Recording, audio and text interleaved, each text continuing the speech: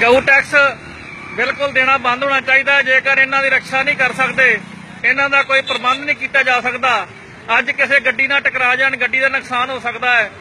ਔਰ ਜੇ ਕਿਸੇ ਬੱਚੇ ਨੂੰ ਜਾਂ ਸਕੂਟਰ ਦੇ ਵਿੱਚ ਜਾ ਕੇ ਵੱਜ ਗਏ, ਤਾਂ ਬਹੁਤ ਦੇਖੋ ਦੇਖੋ ਦੇਖੋ, ਕਿਸੇ ਦਾ ਦੱਸ ਸਕਦੇ ਕਿਹੋ ਜਿਹਾ ਹੋ ਗਿਆ ਜੀ ਹੋ ਗਿਆ, ਦੇਖੋ, ਤੁਹਾਡੇ ਸਾਹਮਣੇ ਬਚਾਓ ਬੰਦੇ ਨੂੰ, ਬੰਦਾ ਬਚਾਓ, ਜਾਓ ਬਚਾਓ ਨੂੰ। ਦੇਖੋ ਦੇਖੋ, ਤੁਹਾਡੇ ਸਾਹਮਣੇ। ਆ ਦੇਖੋ ਬੰਦਾ ਮਹਾ ਬਚਾ ਲੈ ਆ ਮਹਾ ਹੀ ਬਿਲਕੁਲ ਬਚਾ ਲੈ ਬੰਦਾ ਦੇਖੋ ਇਹ ਦੇਖੋ ਹਾਲਾਤ ਦੇਖੋ ਐਕਸੀਡੈਂਟ ਕਰਤਾ ਜੇ ਇਹਨਾਂ ਨੇ। ਲਾਈਵ ਐਕਸੀਡੈਂਟ ਦੇਖ ਲਿਆ ਤੁਸੀਂ? ਲੋ ਲਾਈਵ ਐਕਸੀਡੈਂਟ ਦੇਖ ਰਹੇ ਜੇ ਤੁਸੀਂ, ਦੇਖੋ। ਪ੍ਰਸ਼ਾਸਨ ਨੂੰ ਦੇਖੋ, ਆਟੋ ਦੇ ਵਿੱਚ ਫਸ ਗਿਆ ਹੈ